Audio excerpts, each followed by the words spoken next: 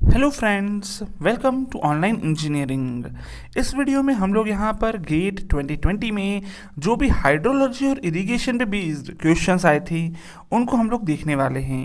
पहला क्वेश्चन देखिए यहाँ पर तो लिखा हुआ है that an in an agricultural field for a specific month, the data is given as, pan evaporation is given as 100 whereas effective rainfall is given as 20 crop coefficient यहाँ पर एक टर्म दी हुई है।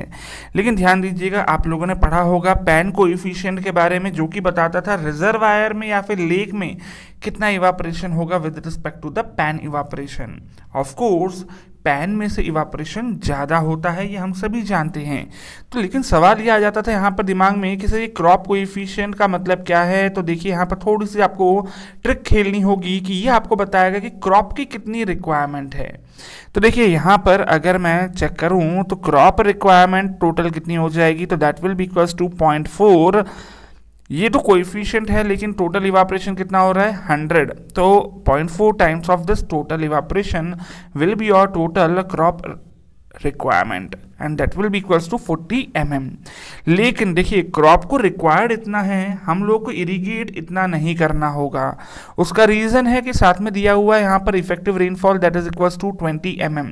So so, मैं यहाँ पर लिख सकता हूँ that effective rainfall is already given as 20 mm hence you can see that water to be supplied by irrigation will be only 40 minus 20 that is equals to 20 mm क्योंकि 40 चाहिए था और 20 तो रेनफॉल से मिल गया, सिर्फ़ और सिर्फ़ 20 बाकी रह जाएगा, जो कि मुझे इरिगेशन से देना पड़ेगा। लेकिन फिर आगे क्या बोल रहा है कि इरिगेशन एफिशिएंसी की वैल्यू 0.5 है? तो ऑफकोर्स मुझे यहाँ पर ही पता है कि जितना भी पानी मैं देता हूँ, उसका सिर्फ़ फिफ्टी परसेंट ही पहुँच पाता है, क्योंकि एफिशिएंसी की वैल्यू फिफ्टी यहाँ पर फिफ्टी परसेंट है या फिर पॉइंट फाइव है। So of course water to be supplied will be equals to twenty divided by point five that is equals to 40 m mm का पानी आपको सप्लाई करना होगा, तब जाके 20 एम mm का पानी पहुंचेगा। 20 एम mm का पानी तो आपका इरिगेशन से पहुँच गया 20 एम mm का पानी आपका रेनफॉल से पहुँच गया तो ऑफकोर्स इन दोनों को मिलाकर आपका 40 एम mm की रिक्वायरमेंट कंप्लीट हो जाती है।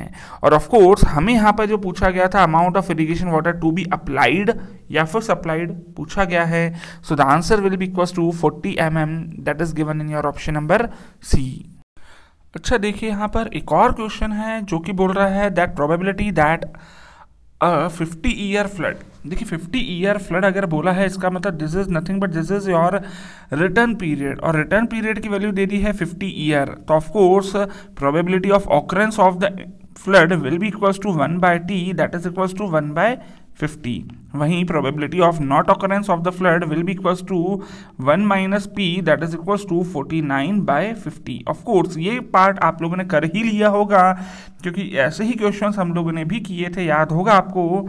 हम लोगों ने फ्लड डिस्चार्ज एस्टिमेशन नाम का एक टॉपिक पढ़ा था, और उसी में आता था हमारा स्टेटिस्टिकल प्रोबेबिलिटी मेथड दूसरा एक और मेथड होता था that was theoretical probability method तो ये स्टैटिस्टिकल प्रोबेबिलिटी मेथड पे बेस्ड क्वेश्चन था। आगे बोल दिया 25 इयर्स की लाइफ का बोल रहा है that means number of years that we are going to study is 25 year और आगे क्या बोल रहा है कि एक बार भी न आए फ्लड उसकी संभावना क्या है? तो देखिए ऑफकोर्स ये ज़ीरो टाइम के लिए प्रोबेबिलिटी पूछ रहा है। फॉर्मूला आप लोग जानते हो पी आर का that is N C R P raise to power R Q raise to power N minus R R की वैल्यू ज़ीरो है एन की वैल्यू ट्वेंटी फाइव पुट कर देता हूँ तो twenty five C zero P की value है one by fifty raise to power R R की वैल्यू कितनी है? यहाँ पर ज़ीरो टाइम होना है। अच्छा q की वैल्यू है 49 nine by fifty raise to power r r is nothing but that is equals to 25 sorry N minus R will be 25 तो इस तरह से इस क्वेश्चन को आप इजीली सॉल्व कर सकते थे। ये हो जाएगा आपका 49 nine by fifty raise to power 25 and that will be equals to point six zero three. ध्यान दीजिएगा, आपको राउंड ऑफ़ करना है to the two decimal places तो ठीक है, ये तो हो गया पॉइंट सिक्स ज़ीरो यहाँ पर राउंड ऑफ़ ये ध्यान रखना, हो सकता था कि यहाँ पर परसेंटेज में वैल्यू पूछी जाती। परसेंटेज में पूछता है तो सिक्सटी पॉइंट थ्री लिख देते आप। ठीक है तो इस तरह से क्वेश्चन को सॉल्व कर सकते थे। अगला क्वेश्चन है, जो कि यहाँ पर हमें फ्लड राउटिंग के लिए कौन कौन से मेथड्स यूज़ करते थे उनके ऊपर बेस था। वैसे मस्किंगम मेथड हम लोगों ने बिल्कुल डिटेल में देखा था, लेकिन वो किस तरह का मेथड है, ये यहाँ पर पूछा गया था। आप लोगों को याद दिला देता हूँ कि फ्लड रूटिंग के लिए हम लोग टोटल दो तरह के मेथड्स का यूज़ करते थे। पहला मेथड था, दैट वाज हाइड्रोलिक मेथड्स। और हाइड्रोलिक मैथड्स ऐसे मैथड होते थे जिनमें आप कंटिन्यूटी इक्वेशन कंटिन्यूटी इक्वेशन के साथ ही साथ इक्वेशन ऑफ़ मोशन भी यूज़ करते थे फॉर अनस्टडी फ्लो जैसे कि बेसिक इक्वेशन हम लोग इसमें यूज़ करते थे सेंट विनेंट्स इक्वेशन और ऑफ़ कोर्स इस तरह के मेथड्स में काफ़ी सारे यहाँ पर मेथड्स के एग्जांपल्स आप याद रख सकते थे। जैसे कि अगर मैं हाइड्रोलिक मेथड की बात करूँगा तो हाइड्रोलिक मेथड्स में कुछ अप्रॉक्सीमेट मेथड्स होते थे, जैसे कि diffusion analogy method kinetic wave analogy method kinetic wave analogy methods इसी के अलावा rectangular grid method rectangular grid method भी एक और मेथड होता था जो कि हाइड्रोलिक में ही काउंट कर लेते थे। फाइनाइट एलिमेंट मेथड ये भी एक और मेथड है फॉर फ्लड रूटिंग एनालिसिस वहीं इसके अलावा सेकेंड टाइप ऑफ़ मेथड्स जो कि होते थे दैट वर हाइड्रोलॉजिक मेथड्स और हाइड्रोलॉजिक मेथड्स सिर्फ़ और सिर्फ़ कंटिन्यूटी इक्वेशन का यूज़ करते थे। तो कंटिन्यूटी इक्वेशन का यूज़ करने वाले बहुत सारे मेथड्स हैं। इनमें भी आप एग्जांपल्स के तौर पे याद रख सकते हो। हाइड्रोलॉजिक में एज देखिए ग्राफिकल में आ जाता है modified Puls method modified Puls method Goodrich method Goodrich method भी यहाँ पर काउंट कर सकते हो। फिर इसके अलावा न्यूमेरिकल्स मेथड में आ जाता है रंगी कुत्ता मेथड और इसी के अलावा यहाँ पर जो पूछा गया है दैट इज़ मस्किंगम मैथड तो ऑफकोर्स मस्किंगम मैथड के बारे में पूछा था हाइड्रोलॉजिक है, लेकिन अधिकतर यूज़ करते हैं हम लोग इसको for channel routing so of course हमारे लिए option number B correct answer हो जाता है.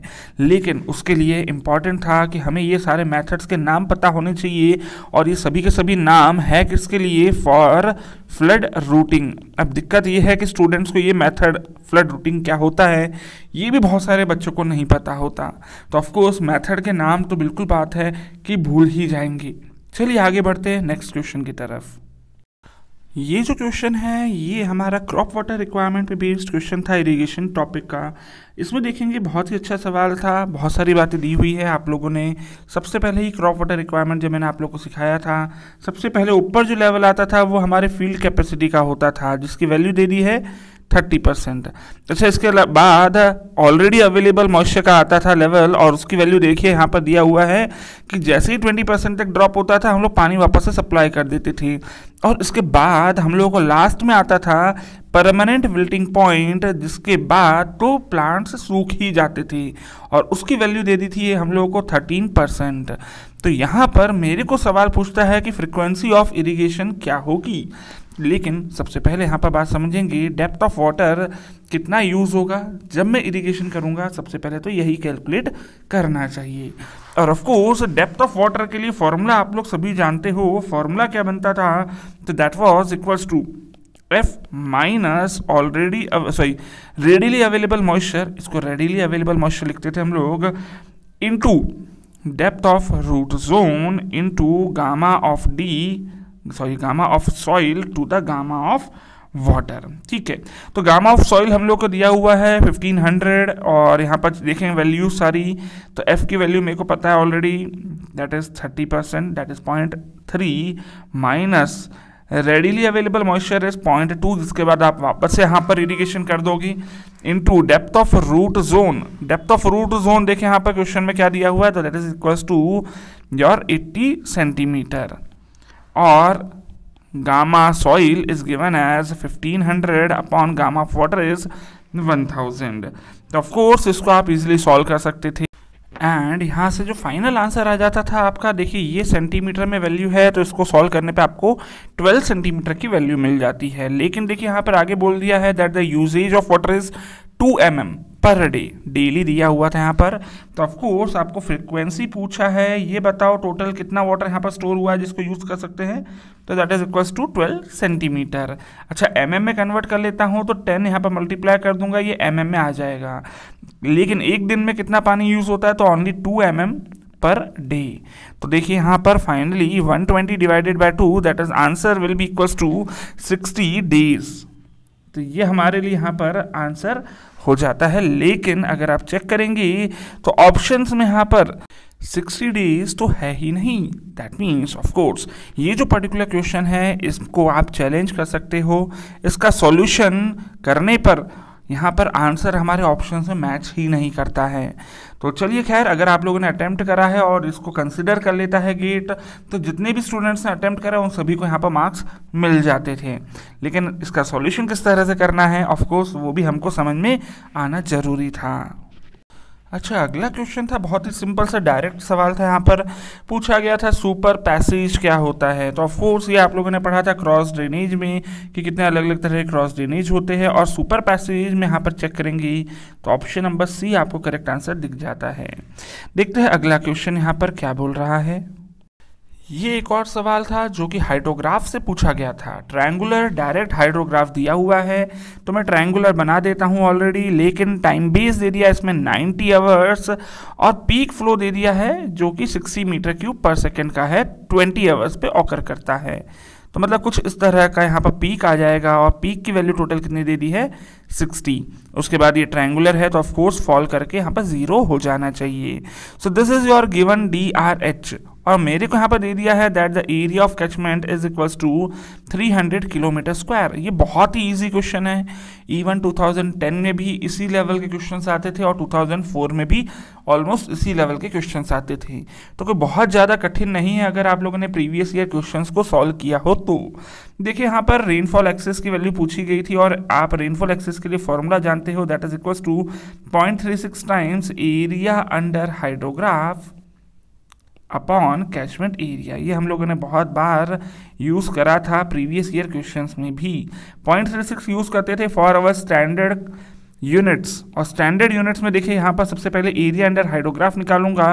तो हाफ़ बेस इंटू हाइट होगी। बेस की वैल्यू दी है 90 आवर्स और हाइट की वैल्यू पता है 60 मीटर क्यूब पर सेकेंड अच्छा इस केस में यहाँ पर अगर पॉइंट थ्री सिक्स ले रहे हो तो कैचमेंट एरिया की वैल्यू किलोमीटर स्क्वायर में होनी चाहिए और वे, वो वैल्यू ऑलरेडी दी हुई है हम लोगों को as three hundred kilometre square तो यहाँ से आप डायरेक्टली एक्स की वैल्यू कैलकुलेट कर सकते थे and that will be equals to three point two four centimetre ध्यान दीजिएगा, ये अगर आपने हाफ़ को यूज़ नहीं किया होता तो आंसर आप लोगों को 6.48 मिल जाता, लेकिन एग्जैक्टली आंसर कौन सा है?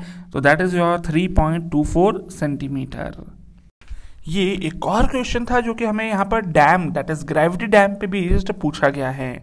देखिए यहाँ पर फाइनली अगर मैं सिर्फ़ क्वेश्चन को देखूँगा तो यहाँ पर लिखा है for no sliding condition the minimum required base width of course ये मिनिमम बेस वेट हम लोगों ने कहा पढ़ा था? Elementary profile of the gravity dam में। अगर आप लोग को याद नहीं हो तो बेहतर होगा कि आप पहले वो पर्टिकुलर वीडियो चेक कर ले, जिसमें हम लोगों ने एलिमेंट्री प्रोफ़ाइल के बारे में बात करी थी। तो ऑफकोर्स एलिमेंट्री प्रोफ़ाइल में हमने देखे थे टोटल दो तरह की कंडीशन के लिए हम लोग मिनिमम विथ निकालते थे।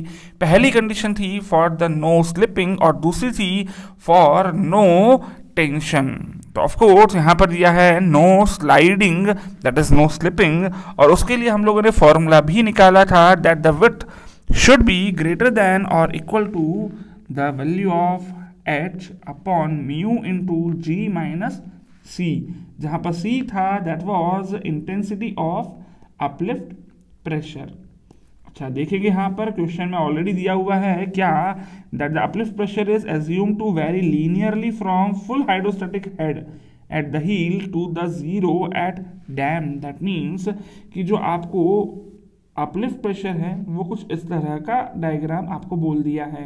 इसका मतलब जितना हो सकता है मैक्सिमम आपने अपलिफ्ट प्रेशर को कंसिडर किया है तो सी की वैल्यू कितनी हो जाएगी? वन हो जाएगी, ये मैंने आप लोगों को बताया भी था।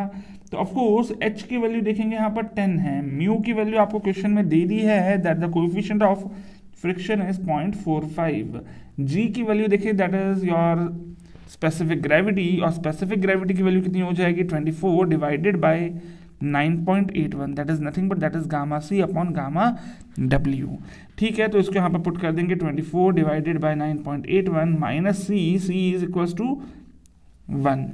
तो इसी को आपको सॉल्व करना था और फाइनली आपको सॉल्व करने के बाद जो वैल्यू आती थी दैट वाज अराउंड 15.88 ठीक है तो ऑफ़ कोर्स यहाँ पर टू डेसिमल्स तक आपको राउंड ऑफ़ करना था और इस तरह से आप इस क्वेश्चन को सॉल्व करके आंसर कैलकुलेट कर सकते थे। तो ऑलमोस्ट जितने भी यहाँ पर क्वेश्चन है, हमारे हाइड्रोलॉजी इरीगेशन में that were all predictable question easy part था हमारे हाइड्रोलॉजी इरीगेशन में से। तो यहाँ पर मैंने दोनों ही सेट के क्वेश्चंस करवा दिए, बहुत ज़्यादा वेटेज नहीं था हमारे एग्ज़ाम में, इसीलिए कोई दिक्कत नहीं है, लेकिन हाँ बिल्कुल, जो क्वेश्चन थे वो प्रेडिक्टेबल थे। आई होप आपका एग्ज़ाम भी बहुत अच्छा गया होगा। और अगर आप आगे वाले एग्ज़ाम्स की तैयारी कर रहे हो तो ऑफकोर्स आगे भी एग्ज़ाम अच्छे से ही जाना चाहिए। तो चलिए मिलते हैं अगले वीडियो में। हम लोग कुछ और प्रीवियस ईयर गेट 2020 के क्वेश्चंस के साथ तब तक लगातार पढ़ते रहे बढ़ते रहे हैप्पी इंजीनियरिंग